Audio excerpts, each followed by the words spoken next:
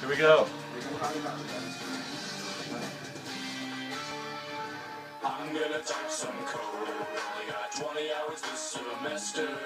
Cal calculating, see me innovating. This is engineering. Were you offended by that video? You weren't? But it's racist and sexist. It promotes white supremacy. Really? That's what at least one college professor and grad student wrote about it.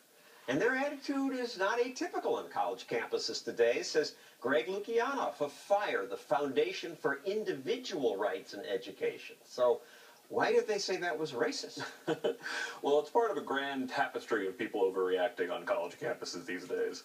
And this is just another uh, example of how people will take something as innocent. I mean, if you watch that full video, it is nerd-adorable.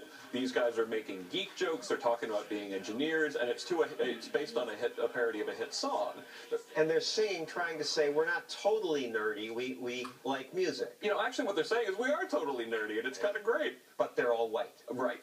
And they're all male. Yep. There, there, it was a group of friends, and there was a, a, South Asian student in it, and there were there were some female students in the video. But since it was a group of white friends who wanted to do this free video that promotes the engineering department, um, someone on campus, a professor and a grad student, actually said this represents white supremacy. And you've done FIRE now 12 years. Yes. You see more of this now?